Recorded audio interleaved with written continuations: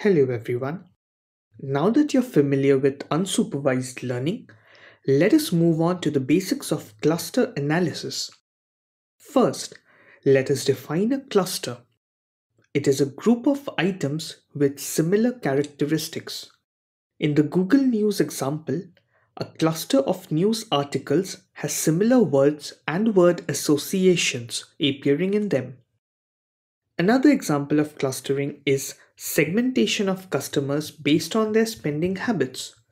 A cluster of customers would exhibit similar spending habits.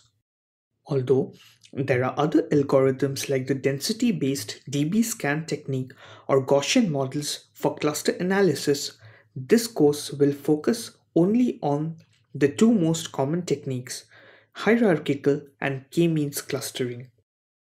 Let us look at the steps in hierarchical clustering before the implementation. For demonstration purposes, let us consider 13 points on a 2D plane. In the first step, all the points are considered as individual clusters.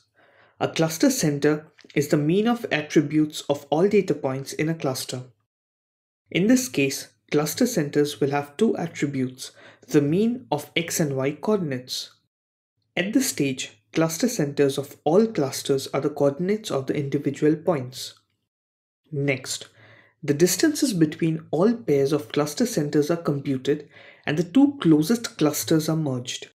The cluster center of the merged cluster is then recomputed. In the example, two clusters on the bottom left have been merged. At this step, we are left with 12 clusters, one less than we started. In the second step, the clusters with the closest cluster centers are merged on the top left. This process of merging the two closest clusters continues until we arrive at the desired clusters. At each step, the number of clusters reduces by 1. As visible from the distribution of points, let us stop at 3 clusters. Finally, these are 3 clusters that you arrive at after the algorithm has run. Let us now look at its simple implementation in SciPy. The required methods for hierarchical clustering, linkage and fcluster are stored in scipy.cluster.hierarchy. We will explore the parameters of these methods later in the course. We additionally import pyplot and seaborn for visualization and pandas for data manipulation. A list of 15 points with x and y coordinates is stored in a data frame.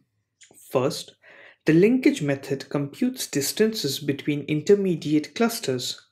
Next, the fcluster method generates clusters and assigns associated cluster labels to a new column in the data frame.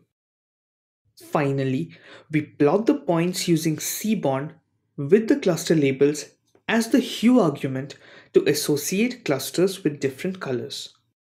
Here is the result of the Seaborn scatter plot showing the three clusters. Next, we discuss the algorithm of k-means clustering with the same set of points to create three clusters. First, a random cluster center is generated for each of the three clusters. Next, the distance to these cluster centers is computed for each point to assign it to its closest cluster. The cluster centers are recomputed. This iteration of assigning points to the recomputed cluster centers is performed a predefined number of times. Here, the clusters have been formed in the first iteration K-means clustering is implemented using methods k-means and vq of scipy.cluster.vq. The centroids of the clusters are computed using k-means and cluster assignments for each point are done through vq. The second argument in both methods is distortion, which we capture in a dummy variable. We will explore the parameters of these methods later in the course. Finally, we plot the clusters using Seaborn. Here is the resultant plot. Let us try some